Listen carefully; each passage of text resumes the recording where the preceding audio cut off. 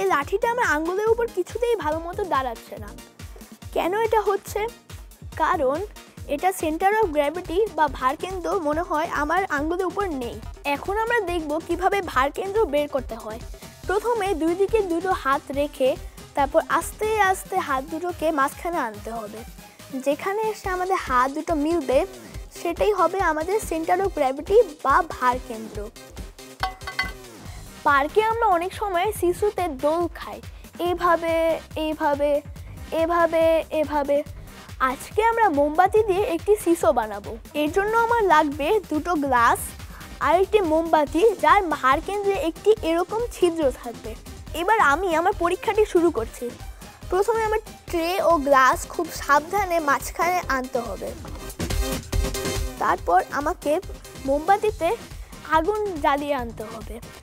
তার জন্য আমার মার একটু সাহায্য প্রয়োজন। এই জন্য আমি মার কাছে যাচ্ছি। তোমরা কিন্তু থেকো এখানে। এবার আমি মার কাছ থেকে আগুনটি জ্বালিয়ে এনেছি। এবার এই মাঝখানে ছিদ্রতে আমি কাঠিটি ঢুকাবো। তারপর কাঠির দুপাশ আমরা গ্লাসের উপরে রেখে দিব। এটি কিন্তু খুব সাবধানে করতে হবে। মোমবাতিটি এখন স্থির হয়ে আছে। যে প্রান্ত ভারী হয়ে যাচ্ছে সেই প্রান্ত নিচে নেমে যাচ্ছে ও অন্য প্রান্ত যেটা হালকা হয়ে আছে, সেটা উপরে উঠে যাচ্ছে। এইভাবেই মোমবাতি সিসর মতো দুলছে।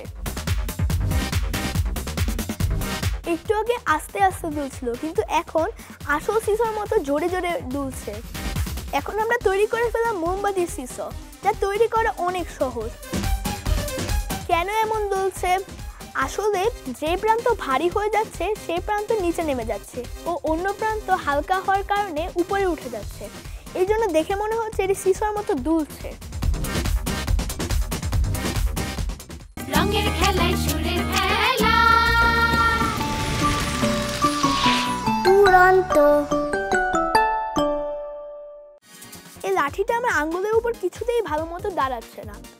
কেন এটা হচ্ছে? কারণ এটা সেন্টার অফ গ্র্যাভিটি বা ভারকেন্দ্র মনে হয় আমার আঙ্গুলের উপর নেই। এখন আমরা দেখব কীভাবে ভারকেন্দ্র বের করতে হয়। প্রথমে দুই দিকে দুটো হাত রেখে তারপর আস্তে আস্তে হাত দুটোকে মাঝখানে আনতে হবে। যেখানে এসে আমাদের হাত দুটো মিলবে, সেটাই হবে আমাদের সেন্টার অফ গ্র্যাভিটি বা ভারকেন্দ্র পার্কে আমরা অনেক সময় শিশুতে দোল খাই। এইভাবে এইভাবে এভাবে এভাবে।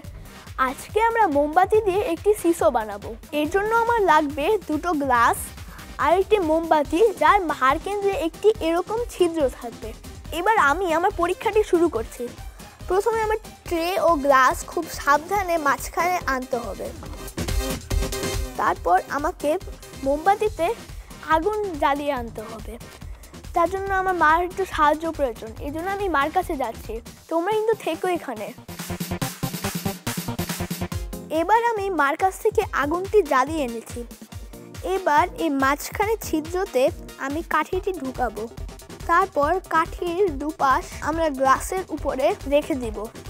এটি কিন্তু খুব সাবধানে করতে হবে। মোমবাতিটি এখন স্থির হয়ে আছে। যে প্রান্ত ভারী হয়ে যাচ্ছে, সেই প্রান্ত নিচে নেমে যাচ্ছে। ও অন্য প্রান্ত যেটা হালকা হয়ে আছে, সেটা উপরে উঠে যাচ্ছে। এইভাবেই মোমবাতি সিসর মতো দুলছে। একটু আগে আস্তে আস্তে দুলছিল, কিন্তু এখন আসল সিসর মতো জোরে জোরে দুলছে। এখন আমরা তৈরি করে ফেলাম মোমবাতির সিসো, যা তৈরি করা অনেক সহজ।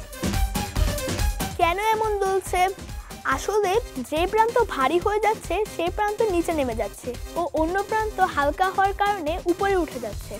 এই জন্য দেখে মনে হচ্ছে এটি সিসোর মতো দুলছে।